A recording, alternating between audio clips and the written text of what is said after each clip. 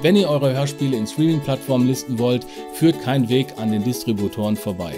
Die Frage ist nun, was sind eigentlich Distributoren und was kosten diese? Sind sie immer kostenpflichtig oder gibt es auch kostenlose? Dieser Frage gehe ich in diesem Video nach und wenn ihr da Bock drauf habt, bleibt einfach dran, wir legen direkt los. Glück auf und willkommen. Ich bin der Daniel von Mein Ohren Kino. Wie schon erwähnt, soll es in diesem Video um das Thema Distributoren oder Aggregatoren gehen. Ich erkläre euch einfach, was sind genau Distributoren, warum brauche ich die und äh, sind die zwingend notwendig und kann ich das Ganze nicht einfach direkt bei den Streamingdiensten hochladen? Gibt es rechtliche Probleme und so weiter und so weiter? All das klären wir auf jeden Fall in diesem Video. Wenn ihr Fragen dazu habt, ihr wisst ja, einfach unten in die Kommentare schreiben und ich versuche eure Fragen gerne zu beantworten.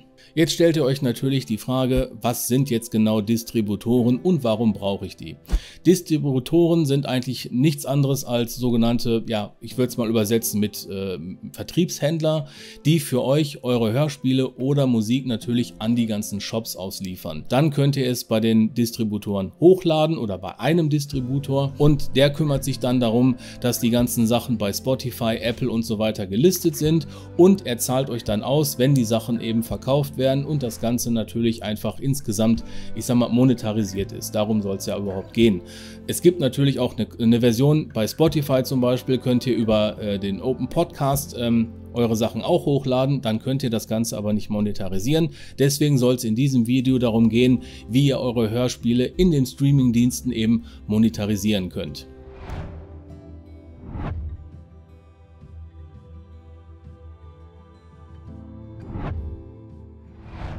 Auf das einzelne Prozedere will ich jetzt gar nicht so sehr eingehen, weil äh, das ist immer so ein ganz klein wenig unterschiedlich. Generell aber ist es so, dass wenn ihr die Sachen hochladet, werden auch die Sachen überprüft, ob ihr wirklich alle Rechte habt, beziehungsweise ob die Sachen nicht schon mal woanders irgendwo gelaufen sind. Und ihr müsst natürlich immer bestätigen, dass ihr auch die Nutzungsrechte beziehungsweise die Urheberrechte daran habt, sonst funktioniert das Ganze nicht. Und ihr sagt auch ganz klar, wenn ein Verstoß vorliegt, dann ist der Vertrieb dafür nicht zuständig, sondern ihr haftet für das Ganze. Die Nutzungsrechte, die ihr übertragen müsst, sind lediglich diese, dass die das in die Plattform übertragen dürfen, beziehungsweise in die Shops übertragen dürfen und für euch in eurem Namen quasi Gelder kassieren, die sie dann später an euch auszahlen. Das heißt, ihr übertragt denen keine Besitzrechte oder sonst irgendwas. Urheberrechte kann man ja sowieso nicht übertragen, sondern lediglich Nutzungsrechte, aber ihr überträgt äh, auch wirklich nur das notwendige Nutzungsrecht, das die Distributoren brauchen, um das Ganze an die Shops auszuliefern. Alle anderen Rechte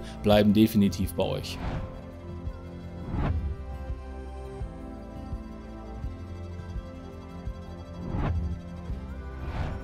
Aber nach welchem Kriterium habe ich jetzt eigentlich diese Distributoren, die ich euch gleich vorstelle, ausgewählt? Ich habe mir dazu einige Top 10 Listen angeguckt, habe geschaut, wer ist da so drin und habe mir dann die Angebote der einzelnen äh, Distributoren angeguckt und habe mir dann die rausgesucht, wo das Angebot einfach so ein bisschen äh, anders ist. Das heißt nicht, dass alle identisch sind, sondern ich wollte ja auch euch so ein kleines Spektrum zeigen, was möglich ist und danach habe ich die kostenpflichtigen ausgewählt, ähm, dass sie halt auch unterschiedliche Angebote haben, unterschiedliche Preise haben, damit es für euch auch ein bisschen interessanter ist, was eigentlich überhaupt so geht auf dem Markt. Bei den kostenlosen habe ich es so gemacht, das war die Voraussetzung, dass sie einen kostenlosen Account Account anbieten, wo sie auf jeden Fall in die Shops wie Spotify und Co. ausliefern und nicht nur auf Social Media. Bei den kostenpflichtigen sind fast immer irgendwelche äh, kostenlosen Accounts dabei, die liefern aber eben nur eure Hörspiele oder eure Musik auf die äh, Social Media Plattform aus und das war mir nicht genug, weil wir wollen ja äh, die Hörspiele letztendlich monetarisieren. Aber ich will auch nicht lange drum herum reden. Ich würde sagen, wir gucken uns jetzt erstmal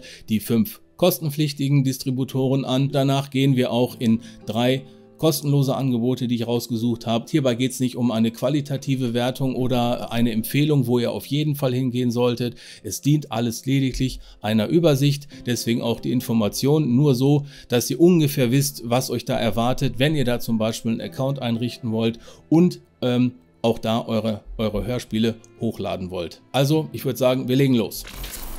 Kommen wir zu dem ersten Distributor auf meiner Liste und zwar TuneCore. Wir gehen einmal hier auf die Preise.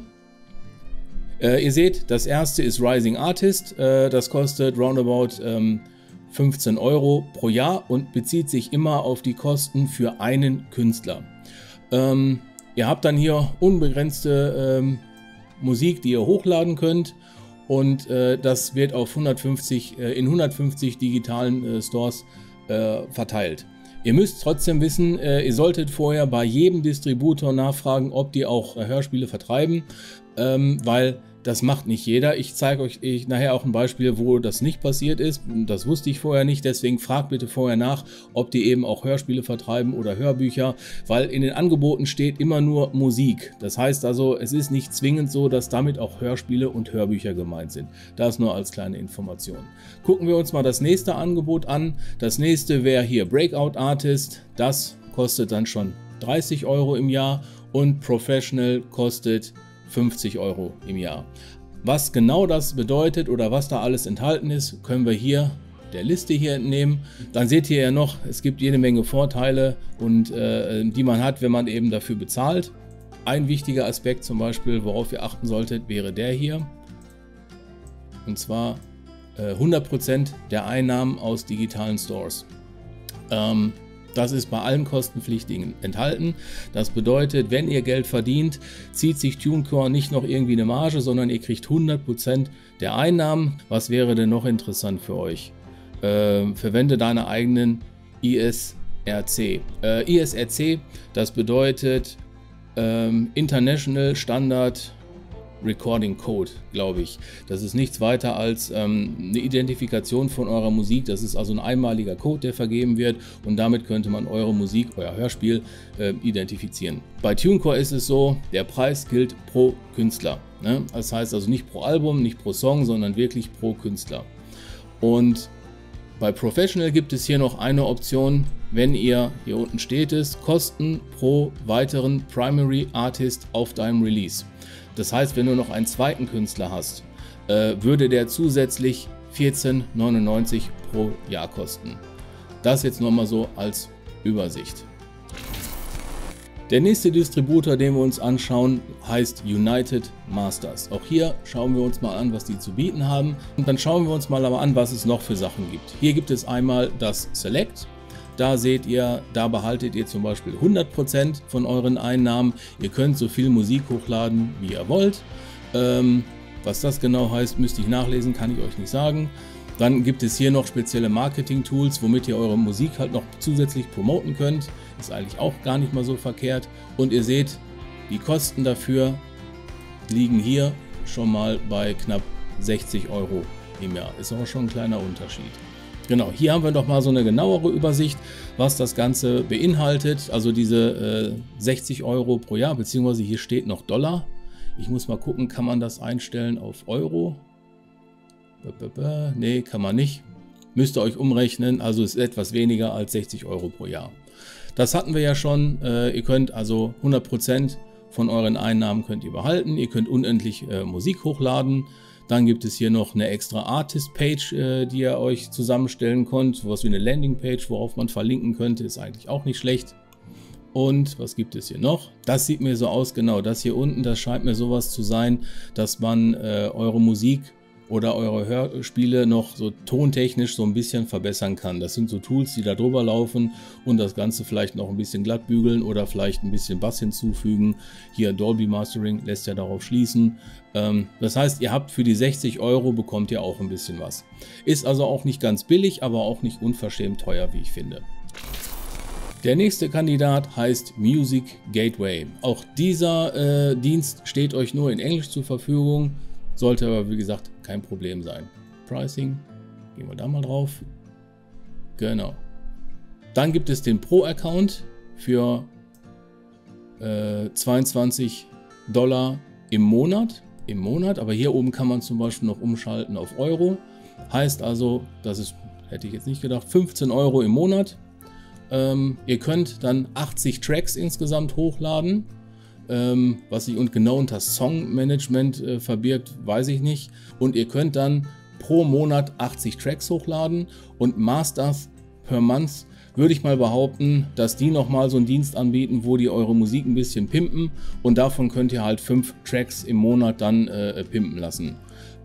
Das hier bedeutet, äh, Distribution Revenue ist, glaube ich, die, ähm, die Einnahmen aus dem, ähm, aus dem Vertrieb, aus der Veröffentlichung.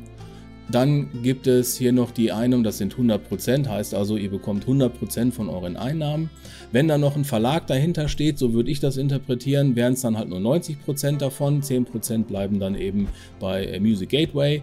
Und wenn ihr dieses Sync Placement Revenue macht, wären es 70%. So wie ich das richtig verstanden habe, ist Sync Placement, das bedeutet, ihr habt eine Musiklizenz äh, ähm, und eure Musik in dem Fall würde in irgendwelchen visuellen Medien und so weiter benutzt werden. Und diese Musiklizenz wird dann einfach auf alle, die das benutzen, synchronisiert.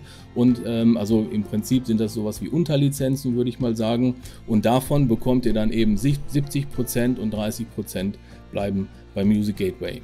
Und ihr seht bei dem Unlimited ähm, Account ähm, unterscheidet sich das so, ihr könnt eben, wie der Name schon sagt, einfach unendlich viel hochladen und ähm, ihr könnt auch äh, unendlich viele Masters davon erstellen lassen, beziehungsweise, dass die, glaube ich, also so würde ich das wie gesagt verstehen, dass die ähm, das vielleicht nochmal für euch überarbeiten würden. Müsste ich aber nochmal nachgucken, was das genau heißt. Oder ihr schreibt es mir in die Kommentare, wenn einer von euch damit Erfahrung haben sollte, was denn hiermit genau gemeint ist. Ähm, die Einnahmen aus der Veröffentlichung wären dann einfach wieder auch 100% und ihr seht, dass hier lediglich die Prozente ein bisschen höher sind. Das heißt, wenn ihr hier die Unlimited benutzt, zahlt ihr 25 Euro im Monat und ihr habt ein bisschen mehr, äh, wenn Sachen verkauft werden. Das heißt, euch äh, bleibt ein bisschen mehr über am Ende. Hier ist auch nochmal eine kleine Übersicht. Ne? Da könnt ihr euch auch immer drauf gucken, wenn ihr nicht genau wisst, was steckt denn jetzt alles drin. Die haben eigentlich fast immer so eine kleine Übersicht. Und auch hier wieder gibt es so einen individuellen Code, dass man eure Musik genau identifizieren kann. Ihr habt, äh, wie gesagt, also das bedeutet eigentlich nur, dass also die alle Rechte und so weiter bleiben ja bei euch. Ihr gebt ihr nur die Nutzungsrechte, dass sie es für euch äh, vertreiben äh, dürfen und an die Shops bringen dürfen. Also mehr bedeutet das ja nicht. Ähm, hier seht ihr, ne, das sind also über 300 ähm, ähm, Shops, die sie halt beliefern würden und das ist eben nur bei den kostenpflichtigen Accounts und noch eine ganze Reihe mehr, ähm, was man hier machen kann. Also ihr seht ja jetzt schon, wir hatten jetzt drei Modelle so vorgestellt und alle haben so Kleinigkeiten, die sich unterscheiden. Manchmal zahlt ihr im Jahr, das ist jetzt hier eine Monatspauschale und ähm, die sind alle ähnlich, sage ich mal, die Angebote, aber eben nicht exakt gleich. Nummer 4 auf der Liste ist äh, DistroKit. Den habe ich auch immer wieder in den Listen gefunden und ähm, äh, das gibt es auch alles auf Deutsch, was ich ganz gut finde. Allerdings muss ich sagen, ist so die Information, die man da kriegt, jetzt so ein bisschen spärlich. Das Einzige, was man eben rausgekriegt hat, ist hier, ihr zahlt einmal äh, äh im Jahr äh, ungefähr 21 Euro und könnt dann unbegrenzt Musik hochladen. Ein paar Informationen geben sie ja doch. Ähm, DistroKit behält davon gar nichts. Also das heißt, auch da kriegt ihr ähm, 100% von den Einnahmen gehen an euch. Zufällig dachte ich, ach, ich melde mich vielleicht einfach mal an, vielleicht kriege ich ja ein paar Informationen. Und ich hatte noch einen alten Account, ich kann mich da gar nicht mehr daran erinnern, dass ich mich da mal angemeldet habe. Und äh, wenn man sich in den Account anmeldet, dann hat man auch hier diese kleine Übersicht. Da können wir jetzt also nochmal reingucken und uns das äh, Angebot von DistroKit nochmal genauer angucken. So, und ihr seht, es gibt hier einmal die Pauschale, die bleibt 21 Euro pro Jahr, gilt für einen Künstler. Und äh, ihr seht hier, da ist auch einiges dabei. Dann gibt es die nächste Version, das ist für die Musician Plus, würde ich sagen, äh, 40 Euro. Da könnt ihr schon zwei Künstler nehmen. Ähm, und man spart sich hier noch ein bisschen Geld. Und dann gibt es zum Schluss noch das, äh, den Ultimate Account, der kostet äh, round 90 Euro pro Jahr und beziehungsweise 90 äh, äh, Dollar äh, pro Jahr. Und ähm, hier sind sogar bis zu 100 Artists möglich. Das ist schon mal halt nicht schlecht. Den letzten Distributor, den ich euch zeigen möchte, ist äh, CD Baby. Und auch diesen gibt es wieder nur auf Englisch, beziehungsweise äh, man könnte sie noch auf Spanisch angucken, aber bringt uns ja auch nichts. Hier zahlt ihr nicht pauschal für einen äh, Künstler, Künstlerin oder sonst was, sondern ihr zahlt hier einfach äh, 10 Dollar für eine Standard-Single 49 Dollar, also 50 Dollar für eine Pro-Single. Was das genau bedeutet, müssen wir uns dann noch angucken. Und das gleiche gilt eben für ein Album, ein Standardalbum und das Pro-Album kostet auch äh, 50 Dollar. Das heißt, hier ist es so, ähm, dass ihr nicht pauschal, sondern ihr zahlt wirklich nur dann, wenn ihr etwas hochlad, äh, wenn ihr etwas hochladen würdet, ähm, ist auch eine Möglichkeit. Ich finde diese Pauschalsachen persönlich immer so ein bisschen besser, weil ähm, man die Kosten halt besser im Blick hat. Schauen wir uns aber jetzt noch mal ganz kurz an, wo denn der Unterschied zwischen Standard und Pro liegt. Und der liegt exakt bei diesen beiden Punkten. Äh, bei dem ersten Punkt Worldwide Publishing Royalty Collection ähm, würde ich mal sagen, darum geht es um die, ähm, die ähm, bei den Verwertungsgesellschaften, dass ihr da die Gebühren bekommt, äh, die angefallen sind, äh, wenn die eure, eure Sachen halt abspielen. Und das untere wäre wahrscheinlich die äh, Re Registrierung bei den Verwertungsgesellschaften, wie zum Beispiel die GEMA, dass ihr da irgendwie auch äh, vertreten seid und natürlich dann, wenn die Sachen im Radio oder sonst wo gespielt werden, dass ihr dann eben auch die Vergütung dafür bekommt. Das äh, würde ich zumindest so verstehen. Kommen wir jetzt aber also zu den kostenlosen Angeboten.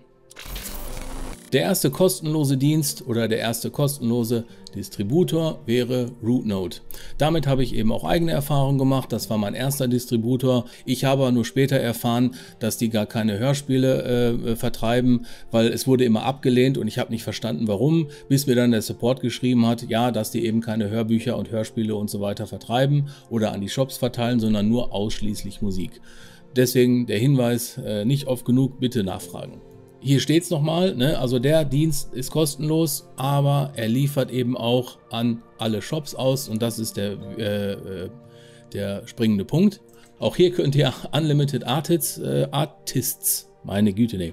Auch hier könnt ihr Unlimited Artists ähm, hochladen. Das ist wirklich ein absoluter Vorteil. Deswegen äh, fand ich diesen Dienst auch so geil.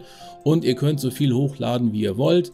Lediglich behaltet ihr nur 85% äh, von euren Einnahmen, was ich tatsächlich völlig okay finde. Der nächste kostenlose Dienst auf meiner Liste ist Dictis. Dictis, so heißt er eben. Gucken wir uns auch hier mal an, was das Ganze kostet. Okay, wahrscheinlich wenn man sich anmeldet, äh, kriegt man noch mehr Informationen, aber schauen wir uns mal an, was er hat. Einmal gibt es den digitalen Vertrieb. Genau. Und dann hat er so ein paar innovative Tools. Das sind oft Sachen, dass man die Musik und so weiter halt verbessern kann. Monetarisierung auf YouTube. Genau. Schutz deiner Rechte. Das bedeutet vermutlich Rechte bei den Verwertungsgesellschaften. Genau, wir kümmern uns äh, um deine Rechte bei den Verwertungsgesellschaften.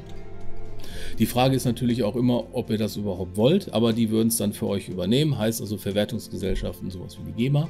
Genau, aber hier steht eben auch nochmal, äh, wir helfen dir dabei, die Platzierung auf Beatport, Spotify, Apple Music und anderen Plattformen zu bekommen. Ne? Das heißt eben, sie liefern auch an die ganzen Shops aus und nicht nur auf Social Media. Und das, darum geht es ja. 100% kostenlos. Im Gegensatz zu vielen anderen Mitbewerbern verlangen wir keine Gebühr für unseren äh, äh, Vertriebsservice, sondern beteiligen uns schlicht an den Labelumsätzen, die du durch uns generierst. Deshalb versprechen wir dir bestmögliche Betreuung, um deine Umsätze zu steigern, denn wir verdienen erst dann Geld, wenn du Geld verdienst. Die Frage ist nur, wie viel? Das steht hier irgendwo nicht. Auch klar, die kriegen halt für jeden Verkauf eine kleine Provision. Äh, wird wahrscheinlich auch so um die äh, 15% wahrscheinlich sein. Äh, ist also, wenn dann im Rahmen, das machen andere ja auch. Genau. Kommen wir dann zu dem nächsten Distributor. Der letzte kostenlose Distributor, den ich euch vorstellen möchte, ist Muse. Schauen wir uns da auch mal an, ähm, was er zu bieten hat. Hier könnt ihr also sehen, das Starter-Kit ist wieder kostenlos. Dann gibt es noch einen äh, für äh, 25 Dollar im Jahr und nochmal einen für 60 Dollar im Jahr. Wir wollen uns aber nur den kostenlosen angucken. Und da habt ihr, ihr seht hier, das war die Voraussetzung. Er liefert an die großen Shops aus. Dann könnt ihr nur äh, ein Release pro Monat ähm, äh, hochladen und die Time Release dauert 14, äh, 4 Wochen. Das ist relativ normal, das ist bei den anderen auch so, wenn ihr etwas hochladet äh, oder wenn ihr ähm, äh, ein neues Album veröffentlichen wollt, dann braucht das immer eine Zeit, bis das alles geprüft wird und das dauert meistens so bis zu vier Wochen, bevor das überhaupt in die Shops ausgeliefert ist. Deswegen ist auch alles hier äh, völlig in Ordnung. Bei den anderen kostenlosen äh, Distributoren, die ich mir angesehen habe, sind die Sachen halt immer ähnlich. Deswegen ist da der Unterschied nicht ganz so gigantisch wie bei den kostenpflichtigen, beziehungsweise ähm, viele haben eben bei dem kostenlosen äh, Account eben nur die Social Media Plattform drin und es gibt nicht ganz so viele, die in dem kostenlosen Account, sage ich mal, auch diese ähm, Spotify, Apple, Deezer und so weiter mit drin haben. Deswegen solch wollte ich euch hier nur eine kleine Übersicht geben. Also es gibt auf jeden Fall einige, die das anbieten und ähm, die könnt ihr natürlich dann auch nutzen. Es bleibt letztendlich euch überlassen, welchen Distributor ihr wählt und äh, welche Art zum Beispiel vom Account ihr haben wollt und wie ihr das Ganze bezahlen wollt. Deswegen schaut euch einfach alles nochmal in Ruhe an, äh, macht euch schlau, sucht euch den Distributor raus, der euch passt und dann legt einfach los und ähm, ja, vertreibt eure Hörspiele. Das war's auch schon wieder mit diesem Video und ich hoffe, es hat euch gefallen. Ich wollte bei diesem Thema nicht allzu sehr in die Tiefe gehen, weil es einfach vielleicht ein bisschen anstrengend ist und ich wollte euch auch lediglich eine Übersicht äh, äh zeigen von den ganzen Distributoren und nicht erklären, wie man jetzt wirklich äh, äh, sich bei den Distributoren anmeldet. Wenn ihr da Bock drauf habt, sagt mir Bescheid, dann mache ich auch darüber ein Video, weil ihr wisst ja, ich bin ja bei äh, Distributoren schon gelistet und könnte dann das Ganze nochmal rekonstruieren und euch so eine kleine Anleitung geben, äh, wie man das Ganze Ganze macht und äh, welche Hürden es vor allem gibt. Wenn ihr vorab schon mal ein paar Informationen haben wollt, dann kann ich euch auf jeden Fall meinen Vlog Way to Spotify empfehlen. Da erzähle ich so ein bisschen, wie ich äh, zu Spotify überhaupt gekommen bin und ich erzähle auch, was am Anfang alles so schief gegangen ist. Da könnt ihr euch schon mal vorab informieren. Und ähm, ja, dann bleibt mir noch zu sagen, habt Spaß, hört Hörspiele und wir sehen uns. Bis dann.